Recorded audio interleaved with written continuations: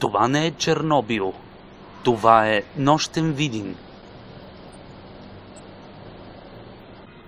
Гледайте последното за сезона предаване Темите.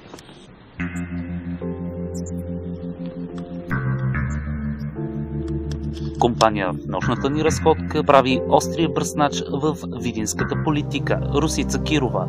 Привет, Ани! Ето единствен, един самотен гражданин. След работа ли?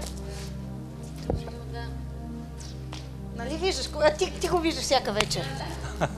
Когато пропъдиш децата си, когато унищожиш региона си, ти ще останеш не сам, ти ще унищожиш и себе си и условията за собственото си развитие. Внимавайте тук, защото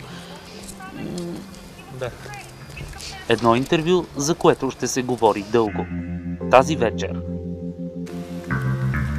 На vidinvest.com